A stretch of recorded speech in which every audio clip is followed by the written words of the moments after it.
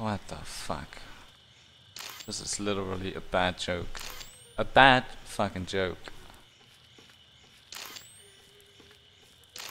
Just imagine if you would be playing a cool FPS like Modern Warfare or something. And then, you know, you're supposed to do your objective. Like defend this spot or some other shit or whatnot. I don't care. Whatever it is. Just do something. And then you fail that objective and it says on your screen game over and you got two choices, yeah? Two choices.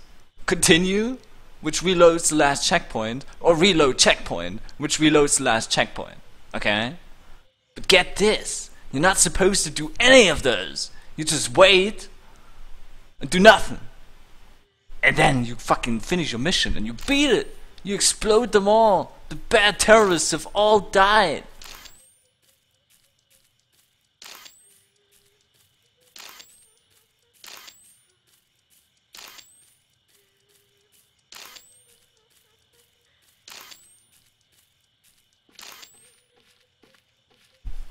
Or say, I don't know, you fucking play a racing game, you know, and you're supposed to get first place. But shit, everybody's just faster than you, and you can't do anything about it because you don't have the money to pimp your ride, you know? And like, shit, you only get third and fourth places and all that. Fuck! What are you supposed to do about it? Your money you're earning with that is not enough to pimp your ride enough to get enough cash.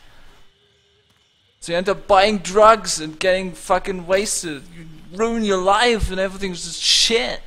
But instead of just trying, you're not supposed to try at all. If you don't try at all, you're just gonna be first place all the time. Come on! How is this not able to figure out? Like, wow!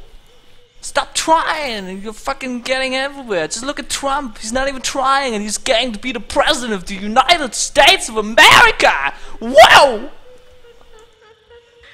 What is this shit? Get out of here!